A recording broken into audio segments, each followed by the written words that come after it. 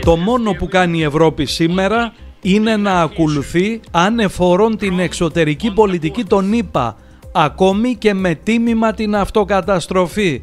Αυτό επεσήμανε ο Ούγγρος Πρωθυπουργός Βίκτορ Όρμπαν από το Μπάιλε Τούσναντ, μια πόλη στην κεντρική Ρουμανία όπου ζουν οι περισσότεροι Ούγγροι.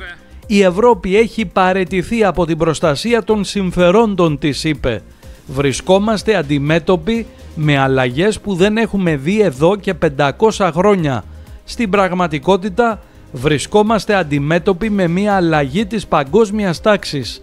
Πλέον η Κίνα, η Ινδία, το Πακιστάν και η Ινδονησία είναι τα κυρίαρχα κέντρα του κόσμου. Ο Όρμπαν μεταξύ άλλων αναφέρθηκε στις εκρήξεις στον αγωγό φυσικού αερίου Nord Stream λέγοντας ότι βλέπει από πίσω τις Ηνωμένες Πολιτείες και τόνισε ότι πρόκειται για μια τρομοκρατική ενέργεια που πραγματοποιήθηκε με προφανή εντολή των Αμερικανών. Όσο για την Ουκρανία, ο Όρμπαν εξέφρασε αμφιβολίες ότι η χώρα που συνταράσσεται από ένοπλες συγκρούσεις θα γίνει μέλος του ΝΑΤΟ ή της Ευρωπαϊκής Ένωσης. Εμείς οι Ευρωπαίοι δεν έχουμε χρήματα γι' αυτό.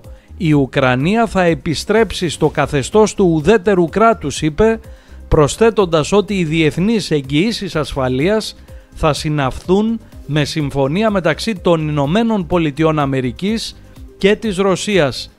Η Ουγγαρία κατέχει αυτή την περίοδο την εκπεριτροπής Προεδρία της Ευρωπαϊκής Ένωσης και κατά τη διάρκεια ο Όρμπαν υποσχέθηκε να κάνει την Ευρώπη μεγάλη ξανά ενώ υποστήριξε την υποψηφιότητα του Τραμπ στις προεδρικές εκλογές των Ηνωμένων Πολιτειών. Ο Όρμπαν επισκέφθηκε τον Τραμπ δύο φορές φέτος στην παραθαλάσσια κατοικία στο Μαρ Α Λάγκο.